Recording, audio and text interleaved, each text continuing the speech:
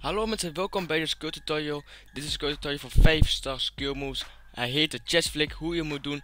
Dat is, uh, je gaat gewoon basic hoog houden. Dan druk je met uh, L3 naar voren. En dan hou je hem ingedrukt op de normale plek. Dus niet uh, naar voren ingedrukt houden als het ware. Of hoe je dat ook moet jagen.